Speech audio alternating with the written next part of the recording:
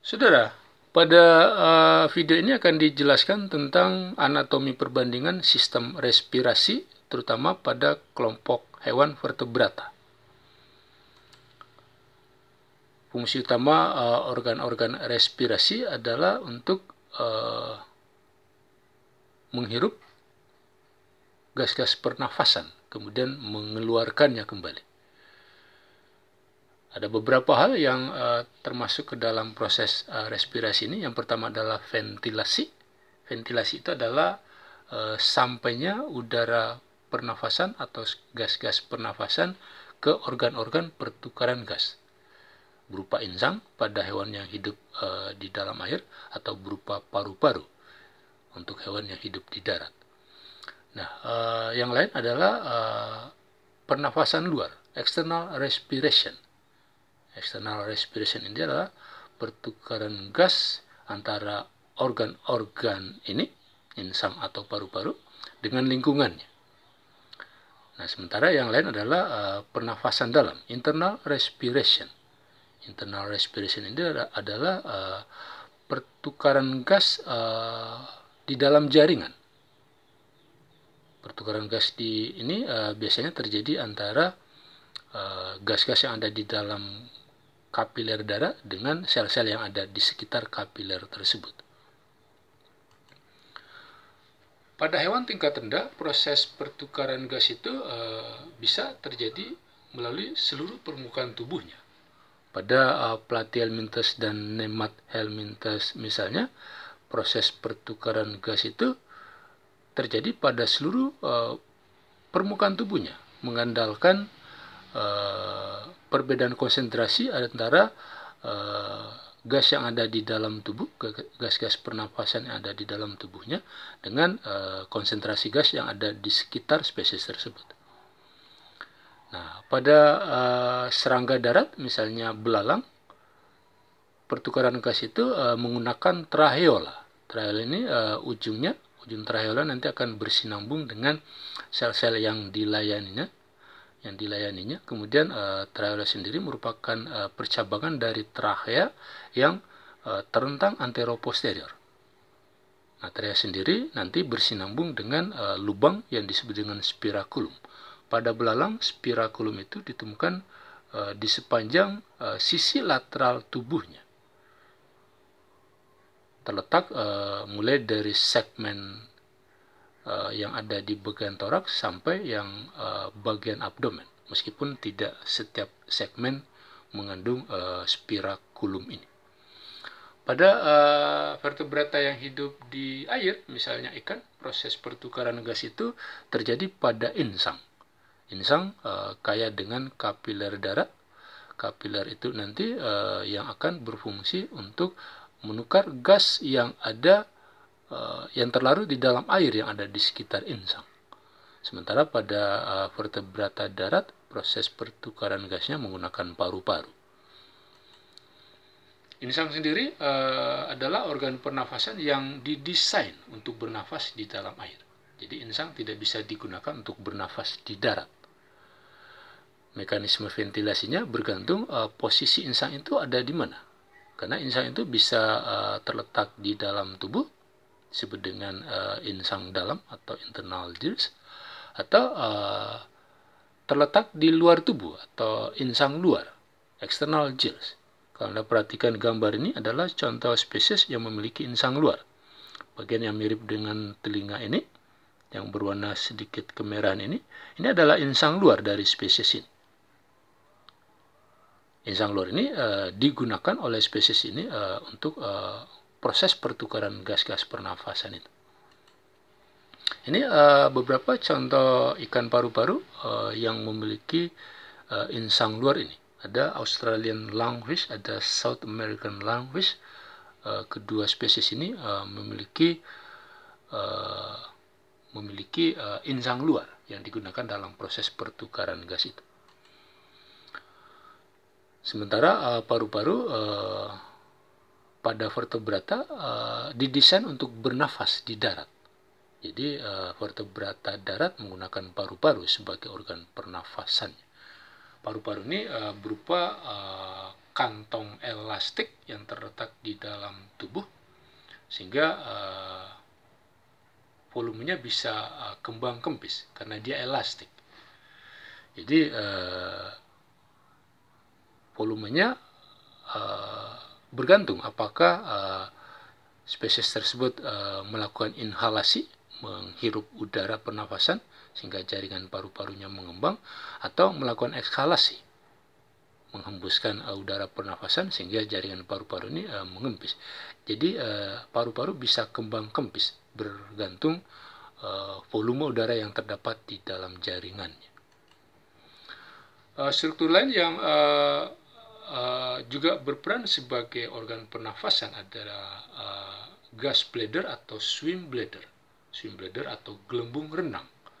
Uh, isinya terutama adalah uh, udara di samping berperan sebagai uh, organ pernafasan, uh, swim bladder ini juga uh, digunakan oleh uh, spesies ini untuk uh, untuk menentukan posisinya di dalam badan air. Ketika dia akan uh, bergerak ke permukaan, maka uh, swim bladder ini akan uh, diisi dengan gas, dimasuk ditambahkan gas ke dalamnya sehingga dia lebih gampang mengambang Sementara ketika dia akan uh, menuju ke dasar, maka kemudian uh, jumlah gas yang ada di dalam bladder ini akan dikurangi sehingga dia lebih gampang menuju ke dasar badan perairan. Jadi dia berperang uh, seperti pelampung. Nah, uh, swim bladder atau gas bladder ini uh, biasanya terletak pada uh, rongga tubuh bagian dorsal rongga bagian dorsa supaya uh, supaya uh, ikannya tidak terbalik. Jadi ketika uh, posisi swim bladder itu ada di bagian dorsal tubuh, maka posisi tubuhnya akan tetap stabil. Nah, uh, swim bladder ini uh, biasa uh, terkoneksi dengan satu struktur yang disebut dengan uh, red gland.